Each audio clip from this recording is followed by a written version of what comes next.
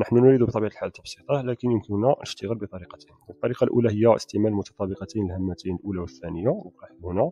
هذا التعبير يكتب على شكل أ زائد ب أس اثنان وهذا التعبير يكتب على شكل أ ناقص ب أس اثنان. هنا يمكننا استعمال هاتين المتطابقتين.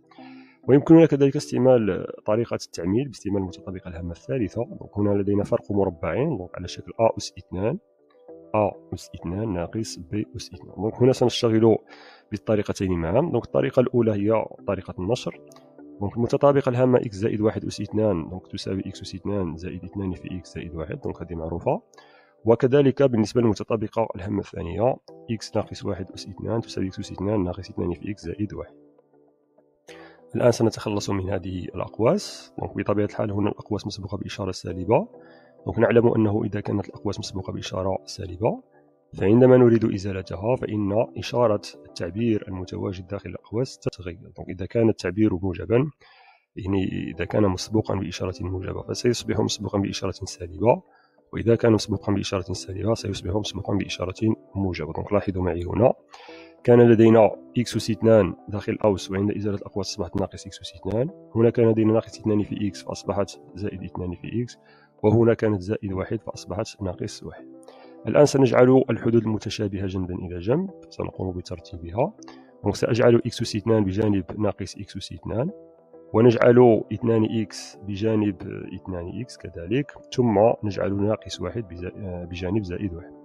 يعني هنا نجمع الحدود المتشابهة جنبا إلى جنب أو نكتبها جنبا إلى جنب لأجل لأجل حسابها وتبسيطها donc x أس اثنان ناقص إكس أس اثنان بطبيعة الحال تساوي صفر. اثنان إكس زائد اثنان إكس ستعطي أربعة x وناقص واحد زائد واحد بطبيعة الحال عددان متقابلان مجموعهما يساوي الصفر وبالتالي فإن هذا التعبير donc هذا التعبير أ يساوي أربعة x donc أربعة في x التي تساوي أربعة x. donc سنحاول إنجازه ولكن بالطريقة الأخرى donc استعمال المتطابقة لاحظوا معي كيف أصبح التعبير؟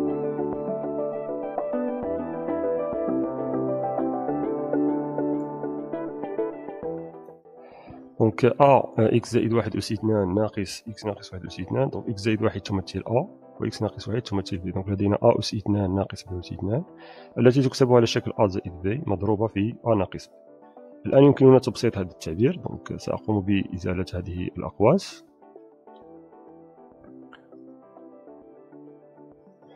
هذه الأقواس لا حاجة لنا بها donc تعبير إكس زائد واحد بين قوسين زائد بين قوسين إكس ناقص واحد. donc الأقواس هنا مسبوقة بإشارة موجبة donc سنترك التعبير كيفما هو.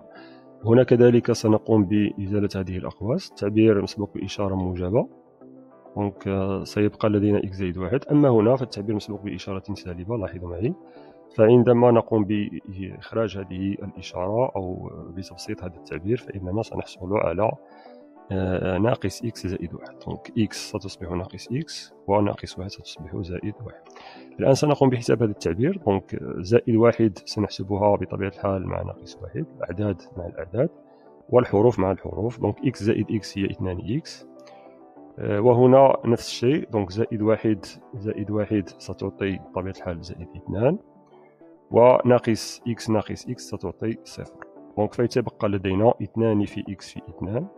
donc سنضرب اثنان في اثنان ستعطي بطبيعة الحال أربعة.